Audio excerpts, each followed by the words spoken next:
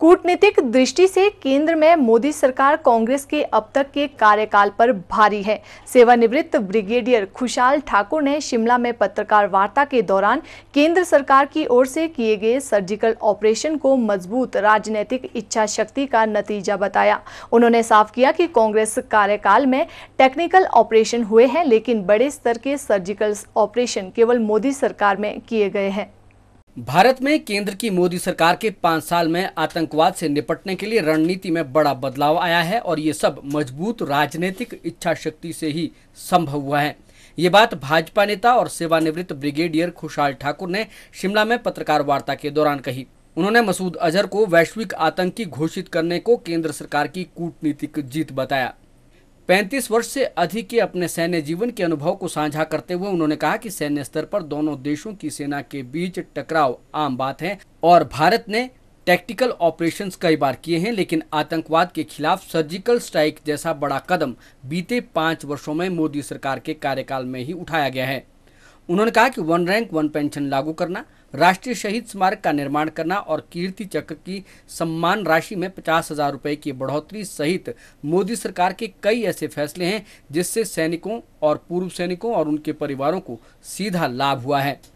वहीं कांग्रेस की नाकामियों को गिनाते हुए ब्रिगेडियर खुशहाल ठाकुर ने कहा कि कांग्रेस पार्टी के वादे के मुताबिक आतंकग्रस्त क्षेत्रों में सेना को प्राप्त विशेषाधिकार कानून अफस्पा की समीक्षा करने से सेना का मनोबल गिरेगा।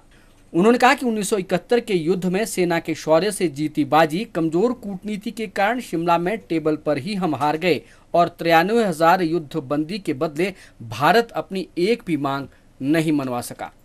भारत की आज़ादी के बाद आज पहली बार लग रहा है कि हिंदुस्तान सुरक्षित हाथों में है और आज एक बड़ी स्ट्रॉन्ग पॉलिटिकल विल और एक बड़ा strong leadership Bharatiya Janata party में है, मोदी जी के, मोदी जी में है।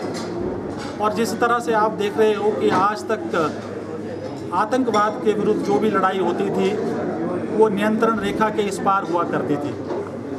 भारत के इतिहास में ये पहली बार हुआ है, जबकि पहली बार 100 किलोमीटर अंदर घुसकर, पीओके में नहीं, उसकी मेन लैंड में घुसकर आतंकवाद जहाँ पे पैदा होता था, जहाँ पे उसकी फैक्ट्री थी, जहाँ पर उसको प्रशिक्षण दिया जाता है, वहाँ पर घुसकर उसको मारा है ये पहली बार एक जो बहुत बड़ी पैराडाइम शिफ्ट हुई है स्ट्रेटेजिक पॉलिसी में, ये भारत में पहली बार।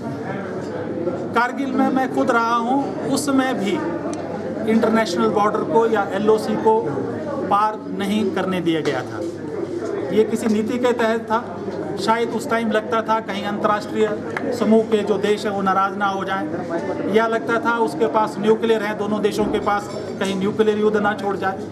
लेकिन आज मोदी जी ने ये बड़ा साफ़ कर दिया है कि अगर आतंकवाद की घटनाएँ इस तरह से बढ़ती रही, हम जो है ईंट का जवाब पत्थर से देंगे, गोली का जवाब गोले से देंगे, और आपने देखा दिया।